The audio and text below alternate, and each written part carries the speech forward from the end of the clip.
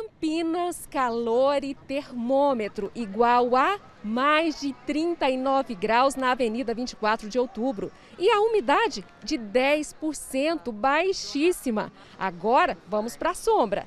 Deu uma diferença de 6 graus, mas no fim das contas, a sensação térmica não muda muito o resultado. A diferença é muito grande por conta desse, vamos chamar de desconforto térmico, né? Estão ali no sol, com umidade baixíssima, chegando a 10%, é o que nós realmente estamos sentindo. E aqui alivia um pouco, mas não resolve o problema.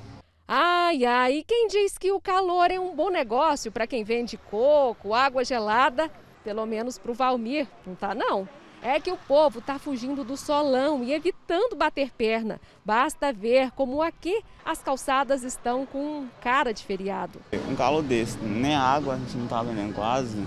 Eu tenho eu trabalho com a garrafinha de água de coco e com coco mesmo. Com esse calor, devagar.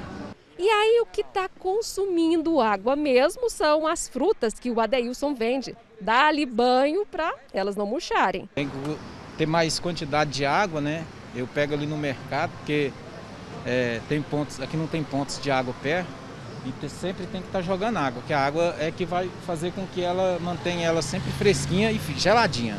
Bom, nós mostramos que todo mundo quer mesmo é sombra, inclusive eu, que arrumei uma para contar como vai ficar a previsão do tempo segundo a meteorologia. Olha, o calor vai continuar. Cidades como Aruanã, Britânia podem bater ainda os 40 graus, mas tem um pinguinho de esperança. Tem uma frente fria saindo lá do sul do país e pode ser que ela consiga romper essa secura do Cerrado Goiano e chegar por aqui no domingo ou ou na segunda-feira. Mas já aviso, não vai ser uma tarefa fácil. Ela tem que sair do sul do país com bastante força para chegar e romper essa massa de ar seco e quente que está aqui sobre a região central. Aí sim nós teríamos áreas de instabilidade.